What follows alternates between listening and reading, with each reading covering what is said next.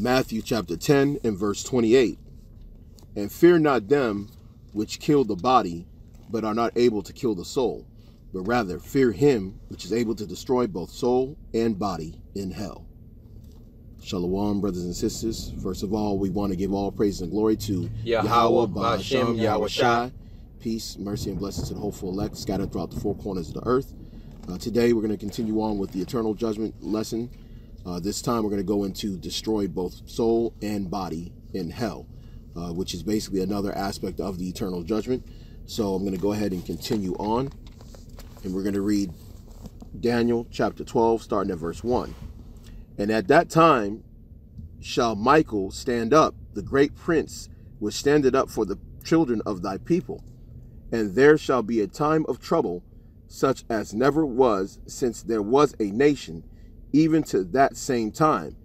And at that time thy people shall be delivered, every one that shall be found written in the book. And many of them that sleep in the dust of the earth shall awake, some to everlasting life, and some to shame and everlasting contempt.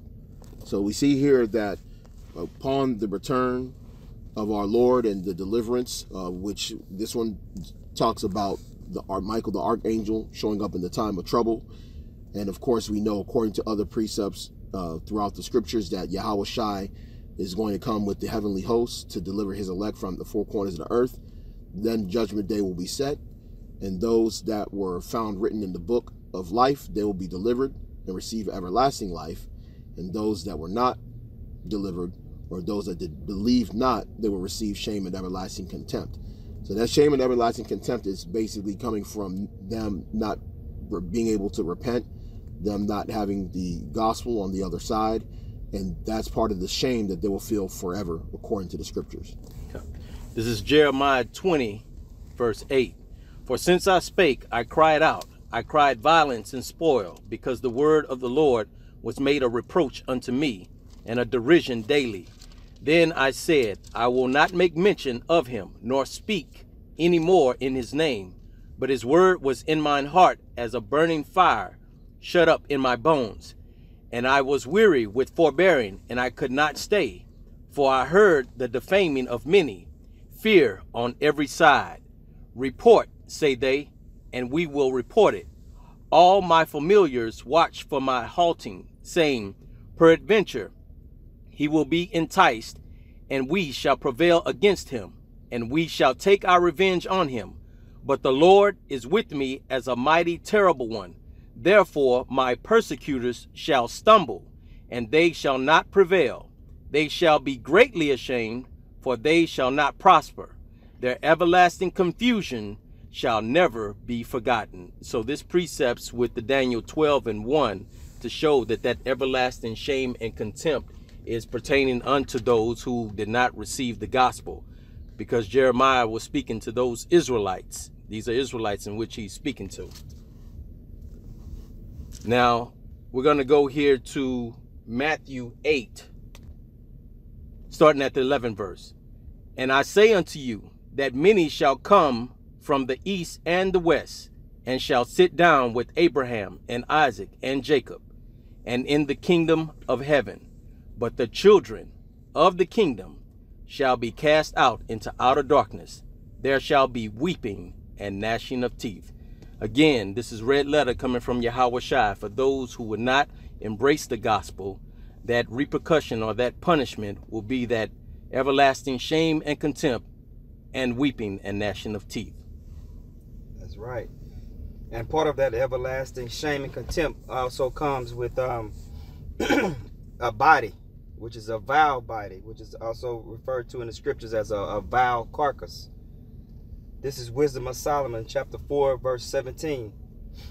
For they shall see the end of the wise, and shall not understand what God in his counsel has decreed of him, and to what end the Lord has set him in safety they, sh- they shall see him and despise him, but God shall laugh them to scorn, and they shall hereafter be a vile carcass and a reproach among the dead forevermore.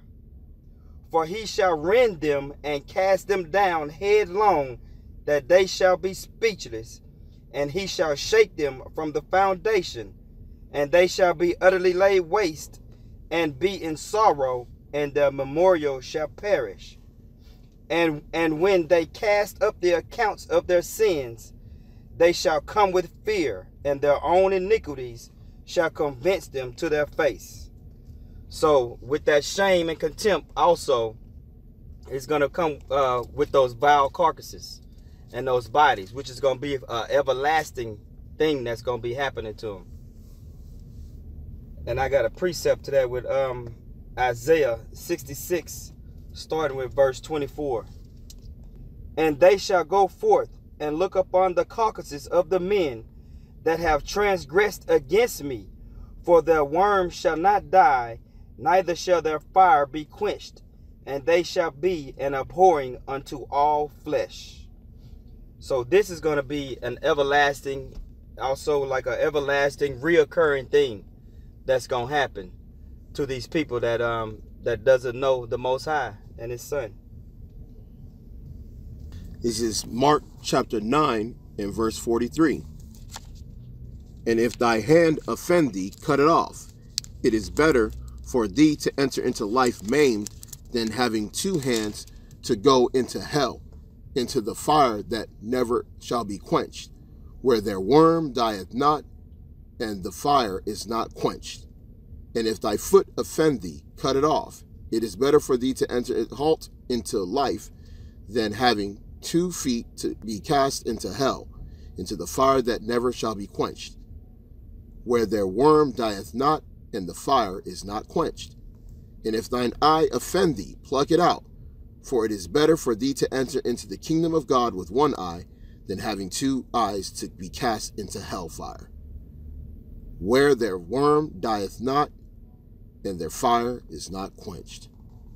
So we see here that Yahawashi, this is red letter, saying that the fire is not quenched, the worm dieth not, and basically giving a strict warning that even it's better for one to lose a body part and come into the kingdom than to have their whole body and to be cast into hellfire, which we know according to the blue letter, that word there is Gehenna. Right. Right. All right. So hopefully this is edifying. And we want to give all praises and glory to Yahawah, Ba'ashem, Ba'ashem, Yahawashi. Peace, blessings, and mercy to the hopeful elect. Shalom. Shalom. Yahawashi saith unto them, Have ye understood all these things? They say unto him, Yea, Lord.